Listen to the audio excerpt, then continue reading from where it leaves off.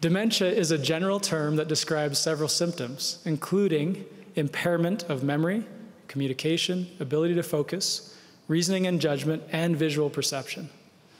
Alzheimer's disease is the most common cause of dementia. It accounts for up to 80% of the cases where dementia symptoms are observed. Alzheimer's disease is a progressive, degenerative disorder that attacks the brain's nerve cells or neurons, resulting in loss of memory, thinking and language skills, and behavioral changes. Let's say that you're making your favorite chocolate cake recipe.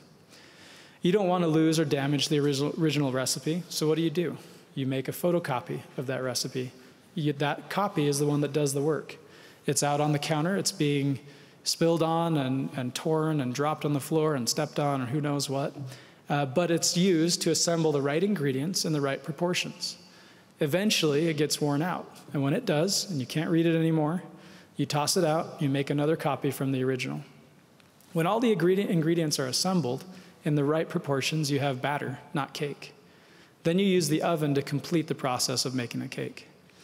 The basic process of how genes and environment result in an organism and its traits is similar to this process. DNA, the original recipe, is transcribed into RNA while remaining in a protected location. The RNA, uh, the photocopied recipe, is then used outside of that protected area to assemble each component of a protein in the right order and combination which would be the batter.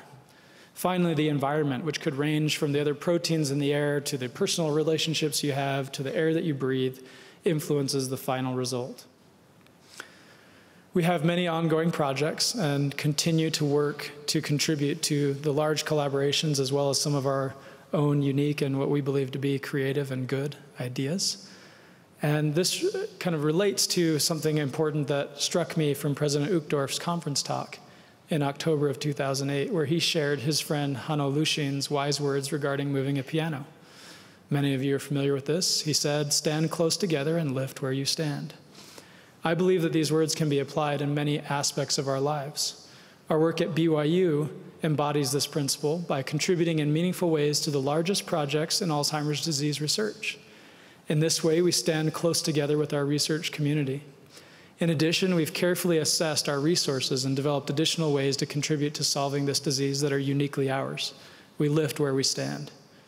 I pray that whether we are considering Alzheimer's disease or any other condition or challenge of the human condition, that we will stand close together and lift where we stand. To me, that means leveraging every one of our talents and the circumstances that our Heavenly Father has blessed us with to serve others and to do good continually. This BYU Forum address with Keoni Kauwe was given on July 19, 2016.